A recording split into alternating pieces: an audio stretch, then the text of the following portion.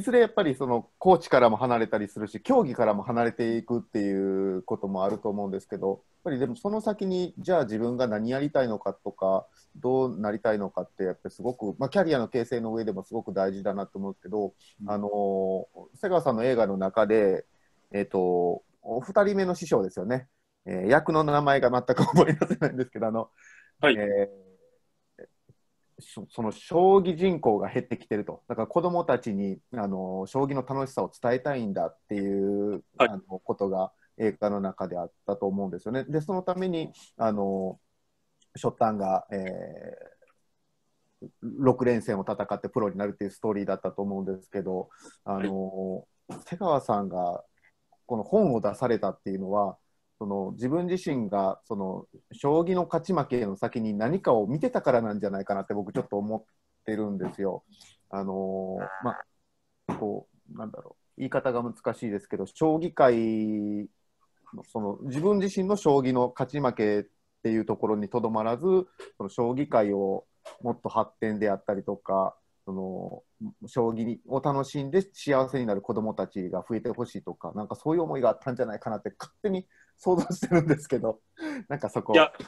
いやそんなそんな大層なものはないですね。あのえーまあまあ、本を出したのは、まあ、たまたまその時そのプロ試験を注目していただいて、まあ、本を出さないかっていう話がたくさんあったからというのと、あの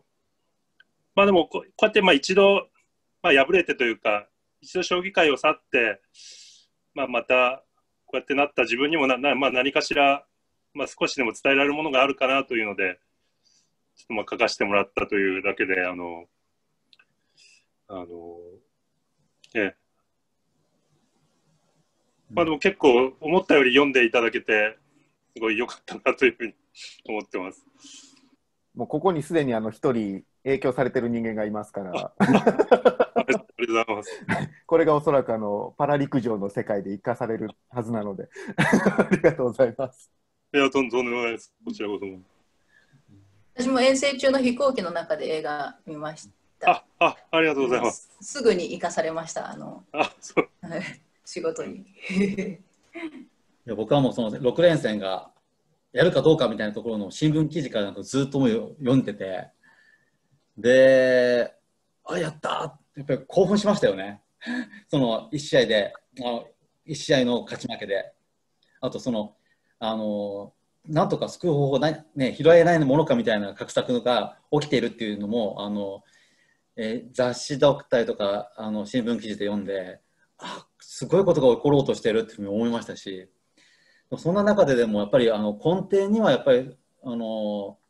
ずっと藤井さんとかもおっしゃってらっしゃるその競技が好き競技が将棋が好き先ほど瀬川さんもおっしゃってましたけども中ででもあのその中でどういう部分なんでしょう？将棋の好きな部分。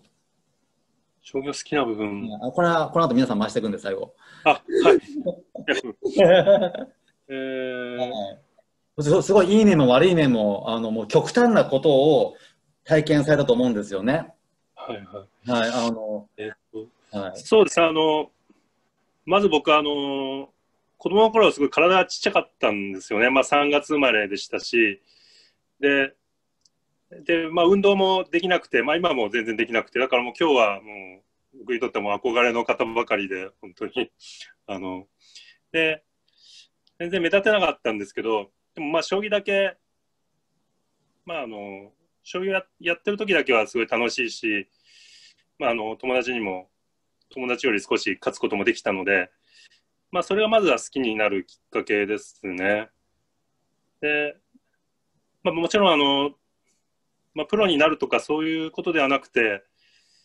まあ、好きなことをなんかひたすらやってるうちにその自分の将棋が強いっていうのを友達も認めてくれてそれがまあ自分の自信になっていったので、まあ、そういう原体験があって、やっぱり、やっぱ将棋っていいなってずっと思い続けているので、まあ、それがそのまま続いてるような感じですかね。あの、まあ、そんな全然大層なものではないんですけど。そこをずっとぶれずに持ち続けられたっていうのがすごいし、多分そこが難しいんだろうなと思いますし、特に瀬川さんのキャリアの中でって考えてくると僕らが思ってる以上にそもそも僕が思ってる以上に難しいことをされてたんだろうなと思ってしまうんですけどもいやいや僕はでも幸運だっただけであの本当はあのプロにはなれなくてそのまま あの他の世界に行っていた人間なので本当に運が良かったなというふうに思ってますね。これはね、運って言えちゃうところが強いですよね。いやさっきのあのサラリーマン時代、人間関係で苦しむこともないって言ってはりましたけど、今、会社の人間関係で苦しんでる人間、山ほどいるなと。あそうですね。いかにやっぱり将棋の世界で過酷な、まあ、勝負ともう人間関係を過ごされてきたのかっていう思ったんですよね。いや、すごいですよ、やっぱり。じゃあ、ジュリさん、ソフトボール、もうもうジュリさんの場合、もうあのスケルトンでも、車椅子？ソフトでも。ん？ああのここが楽しかったブレずに楽しこれがあったから楽しかったからあの深められたっていういやーなんだろう、ソフトボールに対してはあんまり好きじゃないんですよね、実は。出た なんで、あの、競技は面白いですけど、なんなんだろう、好き、そこまで好きじゃないから、あの好きすぎるとダメなんですよ。で柔道すごい好きすぎて、だから柔道で怪我したぐらいなんですよ。怪我して、もう、あの、膝にサポーターしてるのは柔道で怪我してやってる。ソフトじゃないんですよ。ソフトの方が長いんですけど、キャリア的には長いんですけど、あんまり自分が好きすぎるっていうのが良くないって思っているので、うん、本当に第三者ぐらいの感覚でやってたんですよ、ソフトは。練習も、三者的に見てどうも、どういうふうにやればいいのかなっていう、ちょっと変わった考えだったんで、多分それで自分が成り立ったんだと思うんですよ。多分好きすぎると、本当にあの、怪我するまでやっちゃうからダメなんだなっていうことを、あの、柔道で学んだんで、短期間で学んで、ソフトの方はそういうちょっと引いた感覚で見よう、見てやろうと思った。それで周りが見えるんですね。うん、その方があの自分にとって良かったんだな、だから長続きしたんだなっていうのと、なんだろう、やっぱりソフトボールって自分を表現、そのピッチャーとして表現するのに一番合ってたんだなと。変な話、私、球種2種類しかないんですよ。ボールも世界最低速で、ストライズボールと上がるボールとチェンジアップの2種類だけ世界を渡ったんですよ。そこをを武器として、そのライズボールを武器としてっていうので、自分の表現はそれしかなかったっていう。でもそれがあったから今の自分がいるし、このソフトボールを通じて、スケルトンとかボブスレーとかいろんな競技やりましたけど、仲間が増えたことがすごく、今もこうやってお話しさせてもらう、お話ができるっていうのも、そういうのがあったから、今の自分がいるんだなと思って、うんあのソフトボールといろんな競技にあの救われてるんだなって今の人生救われてるなって思います。ありがとうございます。じゃあ、山亮さん。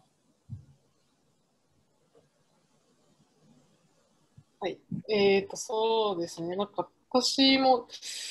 なんか何が好きかなと思うと、私結構競争苦手なんですよね。人と、なんか対人競技とかってなんかすごいなって思うんですけど、対人競技ってやっぱり絶対に勝つっていう気持ちがないといけないと思うんですけど、こうボートの場合は、まあ水泳とか陸上と同じで、こう、レーンに入っちゃうと隣のレーンに入ることもなくて、その自分が一番速ければ勝つっていう、それだけなんです。ほんで、ま、用意どんでゴールしたら勝ちっていうので、でまあ、速さって、まあ、究極言うと、光の速さが今のところ一番速いっていう、もう最高で私私が光の速さって速ければ、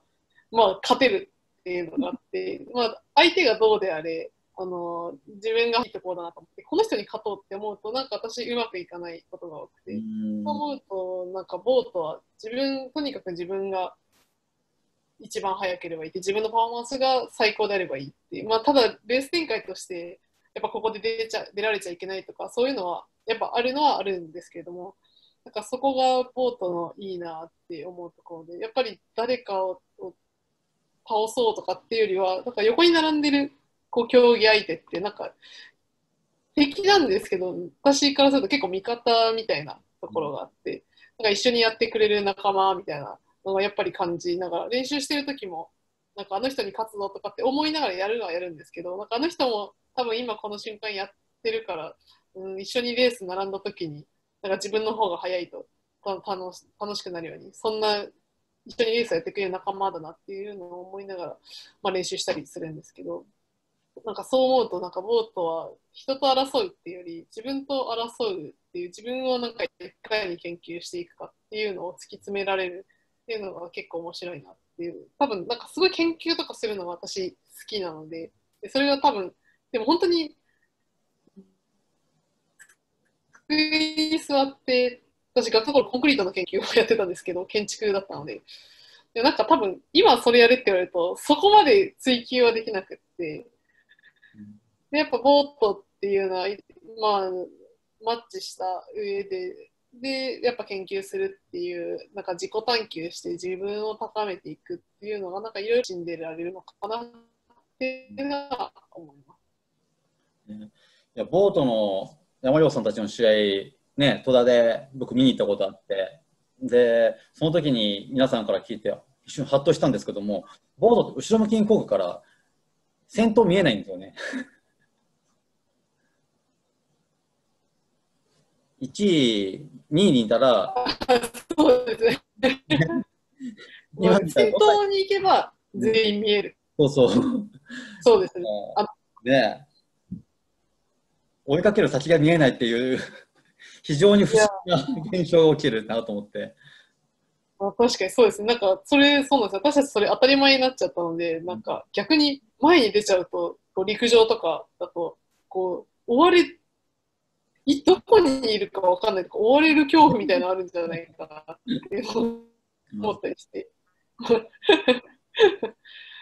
そうです。そう思うと、相手の背中を全全員見ながら漕いでやるぞっていうのはやっぱあります。最も後ろ向きな速い人間が勝つみたいな。ね、ありがとうございます。では、えー、藤井さん、お願いできますか？はい。ちょっと待ってください。今、選手たちがね、食事から戻ってきてうるさいからドア閉めます。すみません。そうですね。あのなんか私は樹里さんのお話気持ちがよくわかるような気がしていて、あのなんか柔道の何かが好きっていうよりは柔道を知っている自分が好きだったんですよね。若い頃。なんかこう没頭できる場所っていうか没頭できる空間っていうか運動能力が高い方ではなかったのであの柔道を通して運動能力をあのつけていった方なのでこう日々成長だったんですね自分の中で何か成長を感じられるところだったんですね。あの家計的にもスポーツ一家ではないのでこうあまりスポーツに関わる機会が子どもの頃からあったってわけじゃないんですけどやっぱりその柔道だから他の運動をやれって言われたらできない全然できないんですよね。でもその柔道に没頭できる何か自分の成長を感じられるその空間場所時間が好きでさらにそこに仲間がいるその感覚感じが心地よかったんですよね。でなんかちょっと大きくなってくるとその柔道やってる自分っていうのがこう畳を出たところでも自分の自信につながってくるというかだからこう自己実現のよりどころっていうんですか。なんか柔道がよりどころだったところがありますね。それであの柔道から離れられなかったっていうところがあるんですけど、まあ、今指導者としてだかこうちょっと内側自分自分だったので自分の成長自分の技術の成長とかっていう方に集中がいっちゃってたのであんまり選手としてはこうあのそれこそ私も競技が嫌いあの戦うことが嫌いなので あの選手としてはあまりこううまく成績は残せませんでしたけど今こう指導者としてやってるとややっぱり指導者向きだったかなと思っていてあのこう人のお手伝いができるっていうことが楽しくてでしかも自分の好きな柔道だしあのでさらに柔道自分の柔道もあの成長させられるっていうまああまりにも美味しすぎる仕事だなと思ってるんですけど。そういうところですかね柔道の魅力はいありがとうございますじゃ花岡さん。はい。えっと、僕も多分山亮さんと同じで、走ることって自分次第みたいなところがあるので、やっぱりそれが好きだったのかなと思うんですよね。あの、やっぱり今でも昔からもチームスポーツはそんなに得意じゃない方なので、で、あの、瀬川さん、こう、スポーツ苦手や言うてはりましたけど、僕もすっごい苦手な方なんですよ、実は。あの、球技も泳ぎも全然だめなので、学校の体育の時間、すっごい嫌だったんですけどね。ただ唯一走ることだけは、まあその頃足で走るですけど、足で走ることも、あの、好きだし得意だったので、やっぱり自分がちょっとでもこう平均以上かなって思えるっていうのは、やっぱり人間にとって大きいんだなって思ってます。あのある意味、成功体験みたいなものを走るってことで積んできてたので、なのでやっぱり車椅子になってからも走るってことを選んだのかなって思うんですよね。でただあの ここはジュリーさんと一緒かもしれないですけど、僕、走ることは好きなんですけど、しんどいこと嫌いなんです。しんどいことは嫌いなんで、やっぱり、なんでしょうかね、走る、走ることの魅力って、まあ、しんどいの好きな人もいるかもしれないですけど、僕はあの世界中どこでもランニングはあるっていうところかなと思うんですよね。あどこに行ってもランニングはできるので、どこにでも出かけていけるしなって。でやっぱり大会もあの世界各国多いですからいろんなところに行けたしいろんな人と出会えたし自分自身を成長させるために僕はたまたままあ走るってことを選んだのかなと思うんですけど、うん、おすすめする時のポイントはやっぱそこかなと思いますね。あのレースはどこでもあるからあちこち行けるよみたいな感じかなと思ってますね。もちろんやっぱりあの藤井さんのおっしゃったその自己実現っていうところは僕はやっぱり競技からもらってますし、今でも、あのまあ、スポーツから離れられないというか、まあ、自分のことスポーツ人ですっていうこともありますけど、自分自身がそのアスリートじゃなくなったけど、スポーツ人として生きていけてるっていうのは、走るっていう、そのアクティビティがもたらしてくれたものだと僕は思ってるので、やっぱりなんでしょうか、今度は好きなことをやらせてもらった分、えー、お返ししていこうかなっていう気持ちにさせてくれるのは僕にとってはランニングだったかなと思ってます。ありがとうございました。じゃあもう2時間を大幅に超えてしまったんですけども、そろそろ終わろうと思いますけど、はい。じゃあ、あの、最後に、もう全く違うジャンルとも言えないと思うんですけど、本当に勝負事ってことに関しては、もう本当に厳しい世界でやってこられたけども、ちょっとあの雰囲気が違うところが来られて来てくださった瀬川さん、なんか最後に一言、あの、まとめてください。お願いします。いや、でも今日は本当こんな貴重な場に、あの、なんか、なんかね、部外者というか、あの参加していただいてありがとうございました。あの、でも、そうですね、僕も実は子供の頃も、本当は、あの、やっぱり運動ができる子ってかっこいいじゃないですか。走るのが速い人でもね、あのサッカーでも。もうどれもダメだったので、やっぱスポーツできる人、上手い人はすごいもう憧れなので、あのそういった場にね、こうやって 混ぜていただいて、えー、本当に楽しい時間でしたね。あのまあそうですね、ちょっと将棋のアピールじゃないですけど、一つ言うと、でもあの結構のスポーツ選手でも将棋をされる方もいて、やっぱ戦略とか考えたり、そういったあのことにもねあの読む、読むということで役に立つ部分もあるので、まあ、選手に将棋を教えたりとかですね、そういうあのことがあれば、ぜひお声がけいただければ、あの協力させていただきますので、あのよろしくお願いします。であのでも今日は本当にありがとうございました。あのまあ、ぜひ、ね、コロナが落ち着いて、うん、あの皆さんで集まって飲めたら、すごい、うん、僕は夢のようで、その日を楽しみにしたいと思います。ぜひよろしくお願いします。じゃあ、あのコロナ落ち着いたら、アスリート対象の将棋教室やってください。はい。参加資格スポーツ選手で、瀬川先生に教えていただき、終わったら、乾杯。ああ、いいですね。喜んで、はい。はい。よし、早くコロナ落ち着け、みんないい声してましょう、お家で。はい。楽しみにしてます。ね、ありがとうございます。じゃ本日はありがとうございました。ありがとうございました。ありがとうございます。どうもありがとうございます。た。ありがとうございました。あどうもありがとうございました。あ早くお酒飲みたい。ー本当に。ジミーさん、旅行行こう。行きたい行きたいもう。酒飲んで。